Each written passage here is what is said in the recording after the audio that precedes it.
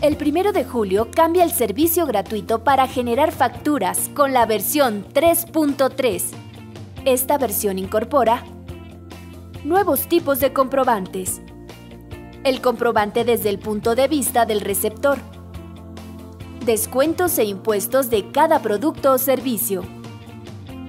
Clave de producto o servicio y una unidad de medida estandarizada. Catálogos para la captura de algunos datos. Factura con el complemento de recepción de pagos cuando el pago se recibe después de la emisión de la factura. En este video hablaremos de la clave de la unidad de medida que debe registrarse, conforme al catálogo publicado por el SAT. Ten en cuenta que la unidad debe corresponder con la descripción del producto o servicio.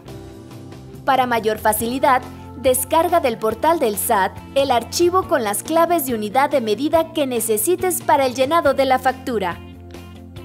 Veamos cómo se registra la clave de unidad de medida. En la sección Conceptos del llenado del comprobante, después de registrar la clave del producto o servicio, registra la clave de unidad de medida de acuerdo con el catálogo. Para facilitar el registro, escribe las tres primeras letras de la descripción de la clave y selecciona la opción deseada.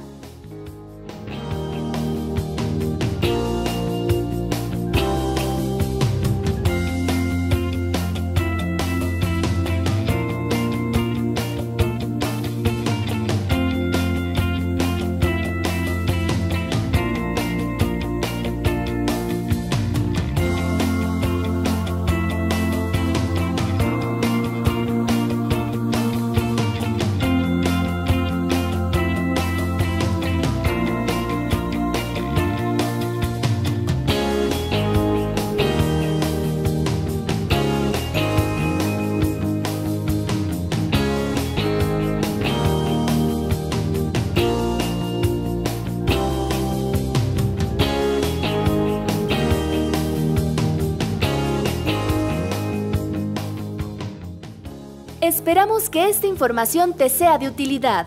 Si tienes dudas, visita la sección factura de sat.gov.mx.